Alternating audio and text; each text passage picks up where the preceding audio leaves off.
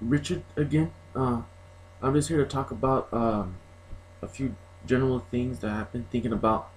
Uh, it's mostly about uh, studying um, the Clay Institute um, problems, the math problems from the Clay Institute. Uh, and I've been looking at a few of them for like about two years now.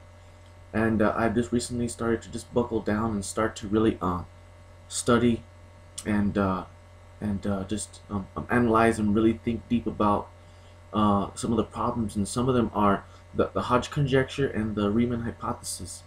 And uh, and the Hodge conjecture has to do with you know just like the Poincare conjecture had to do with shapes and everything.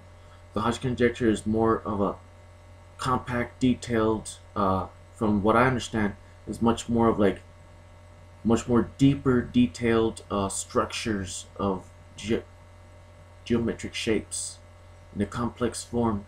Uh, and uh, conjecture, uh, it has to do with uh, how to, to determine uh, complex spaces or curved spaces. And you know, Gregory, Gregory, I think his name is uh, Perelman, used the the Ricci Ricci flow and combined it you know, with the theory of, I think it's Henry Point, Point, uh, Poincare, whatever his name is.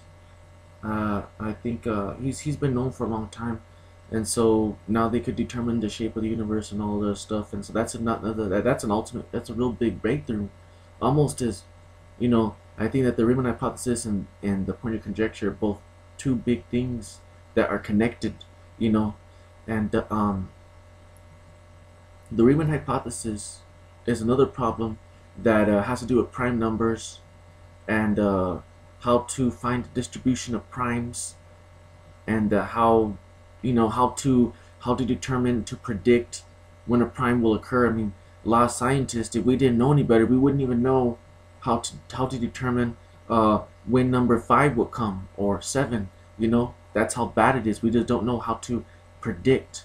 Now we do, obviously, but I mean, that was just a, like a, almost like gravity, almost, you know, like trying to, you know, just came easy. But if we didn't know any better, we wouldn't even know how to predict how, when the number 5 would come in, when number 7 and 13 would come in. You know, because the prime, they, has completed.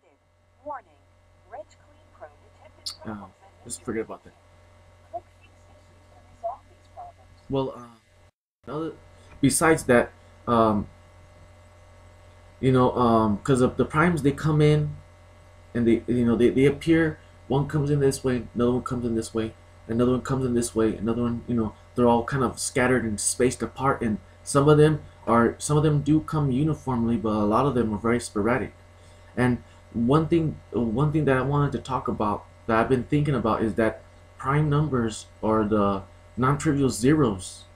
Those are the real smallest of the uh, of the real uh what I believe to be uh you know because that that scientists believe that that will help to determine uh how to better understand and predict the distribution of primes and how to predict when a prime will come.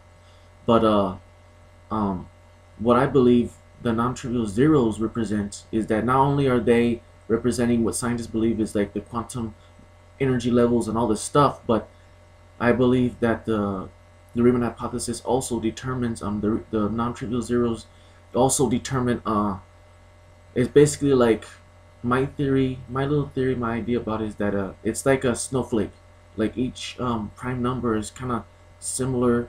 How the primes are built how the primes appear how how the non-trivial zeros appear or the primes of both of them uh, they're all unique. You know if you were just kind of if you were just if you were to get if you were to cut a section off of a 50 primes you could consider that to be like a snowflake and then another 50 is a, every every uh spacing between those primes in the 50 that you cut out and separated from could be considered a single snowflake you know and for each 50 that you cut out every snowflake the patterns and the and the and the um the spacing and the structure and the look of it is completely different. Like people say all snowflakes are different. And I think that primes have to do in nature, not just in my theory, but in reality, I think that prime numbers and how they're distributed and how they're random is also uh, connected to uh, how how and why snowflakes are all different. Because what I believe is that from the very roots of life itself, everything is not uniform. You know, like scientists know that nothing's uniform when you go to the quantum level, but everything in the quantum level is built ununiformly. And it's built ununiformly because it follows the non-trivial zero structure, the random structuralization of, of creation itself. You know, um, like a uh, like like even a manufacturer that makes a plastic ball or like a flower that you know for a better instance is like uh um like when uh, a, uh, a blade of grass grows they all look the same. Some of them are a little bit short and all that. But when you go to each of them all of them are in are basically in a, their own universe of of the laws of the non-trivial zero structure pattern creation. You know they all follow that uh, ununiform um, building block of their own of their own uh, reality. Blades and snowflakes follow their own separate universe of the non-trivial zero structure. You know everything is built upon you know you can have a like a blade of grass could look very uniform but in the structure nature creates things very kind of half half half uh hazardly kind of building things on top of each other and everything's kind of entwined and in interconnected and intermangled. But when when all of that is just to build something so that when it's finished when it's done being born whatever it is on the when it's built completely from a distance it looks uniform. But in the structure itself it follows a haphazardly uh, manifestation of uh, of ununiform non-trivial zero kind of blueprint of uh, creation you know if that makes sense. You know um that's how nature builds things. It doesn't build it does it doesn't build a brick wall by every uniform block like how people do. Nature builds uh, life in a very haphazard ununiform way. But it can do that because it builds it from the very smallest of the small and so it doesn't really matter if everything is not uniform because if you're building something very small, as long as it's structurally sound in the quantum level, you could ultimately keep on building upon that. And then when you reach a certain mass create a uniform type of uh, uh, completion to it you know and to have it be much more uh, you know uh, just much more um safely uh e existing in reality more of a safety safer for it to kind of sustain itself in reality. So in the smallest level everything could be wild but when it reaches a critical mass of uh, of its existence you could then kind of structuralize it you know because it reaches such a big mass that no matter no matter how fickle it may create itself, it's still going to be pretty pretty sound. And also, to um, that that's why I believe you know that it's just like a like a mountain. Like uh, the, the non-trivial zeros and primes, they follow. Like if you look at mountains, everything's jagged. All the shapes and all the edges are very jagged, and nothing is this. Nothing is similar. Me, you might find a spot here of some jagged patch of rock similar to another jagged patch of rock five miles away, north by northeast or whatever, you know, up here, you know, and uh, you know, a few degrees over there, but you know, it, it's it's just like prime numbers and and uh, non-trivial zeros. Everything kind of seems from a distance there's going to be some similarities here and there, but everything's going to be uh, uh, very sporadic. And non-trivial zeros is like every jagged you could consider that as a appearance of a non-trivial zero. Every jagged, every every hole in a snowflake it could be considered a, a non-trivial zero every um, shred of microscopic quantum uh, blade of grass could be considered a non-trivial zero being haphazardly stuck together, you know. And that's what the trivial zeros are. It's the most quantum building blocks of how things are built. Whether it's from the fabric of uh, the, the, the, the, the, the, fabric of uh, um, of rocks and the, the quantum levels of, of life being built, everything follows a in, in the quantum in the in the non-trivial zero level, everything follows a very sporadic haphazardly creation. But that's just to lead itself to a larger mass existence so that it, it will it doesn't even matter because everything's gonna be so sound at the quantum level. It's all being about sound. Just splashing it together, that's what primes are, you know? And to determine that, I think that it's you know, uh, I'm still figuring it out. But mm, hopefully I will figure it out.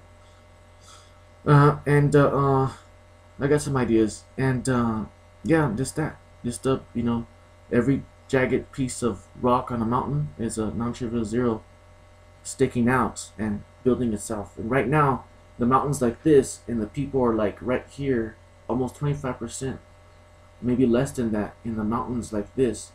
So like, there is an end to it, but we just have to work hard and keep on building and finding equations because the only way to determine prime numbers or non-trivial zeros, you would have to create uh, an equation that is constantly shifting and changing.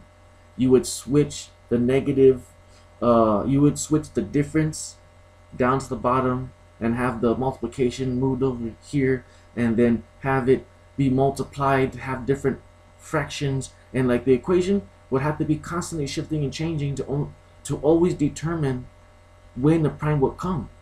So it isn't going to be one equation that will give you all the sequences of the primes or non-trivial zeros. It would have to be constantly, every prime would have to have its own separate equation in order for for you to determine that that is when it's going to happen, when it will happen. That's that that's how complex it will be. That's what I think, you know. That's how complex it is.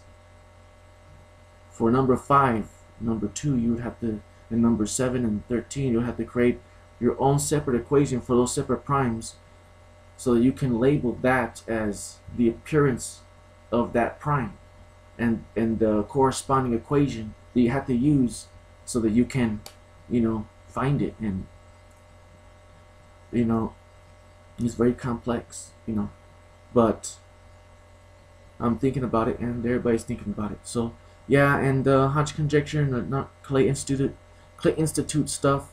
And uh, you know all this real interesting stuff and the polynomials um, you know um, the uh, what's it called? The Birch Swinnerton Dyer conjecture?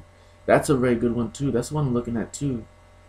Uh, and uh, you know um, I think that I'm gonna be looking at the Hodge conjecture before the Riemann but we'll see what happens.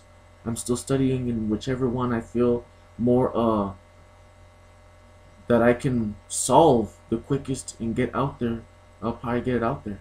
And whichever one I feel more gravitated toward, I'll work the hardest toward at. Realistically, which one, you know, I was the Hodge, the Riemann is way too complex and way too strange. But uh, the more I study it, you know, uh, the more I understand. But the Hodge conjecture is shapes, and I think that's why the Poincare conjecture was solved by Gregory Perelman because it has to do with shapes, you know, and men, by nature, we grab things with our hands and we build things. And I think that Gregory Perelman used uh, that type of uh, natural male instinct, but with his mind, to solve the shape problem and finding the shape of things with uh, the Ricci flows and all that. And uh, yeah, and I'll probably do the Hodge conjecture, but you know, alright. Thank you. This is Rich Cespedes. Thank you for your time.